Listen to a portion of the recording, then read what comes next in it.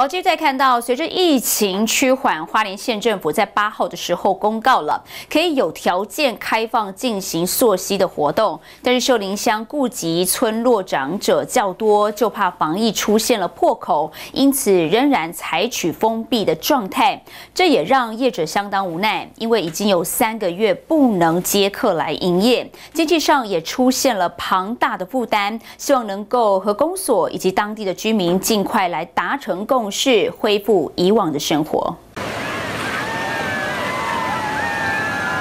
以往过去，只要到了暑假期间，不管是在泛舟还是溯溪，都能吸引到许多游客前往体验游玩。但在今年却受到疫情影响，业者开不了门，也失去了主要的经济收入。好不容易等到疫情趋缓，花莲县政府在八号发出公告，可以有条件开放进行溯溪活动，但秀林乡公所却顾及村落长者较多，就怕疫情出现破口，因此仍然采取封闭状态。这也让业者相当无奈。我们造成很大的影响，因为花莲有三分之二的水跟山都是属于秀林乡公所这个管辖。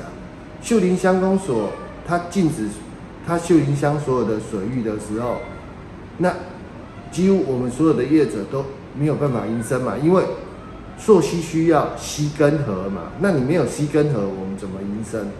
我们溯溪业已经三个月，好像三个月我们已经没有任何的收入，我们真的希望说。秀林乡公所能够倾听到我们的诉求，适时的开放一条河流。我们最近有收到说那个受溪业者的一些陈情哈，那我们会在尽快再跟这些受溪业者，就是能不能双方就是邀请他们来做一个沟通协调的工作。那如何在有条件的开放之下呢？大家有共识，就是说如何去做一个把关哈。那乡公所还有业者这边，还有县政府这边，我们是不是有一个分工的一个？呃，工作哈，能够让各自的呃职职守就是可以去做一个控管，这样。那我们也希望说，如果在在有条件之下呢，那我们也能够兼顾到照顾。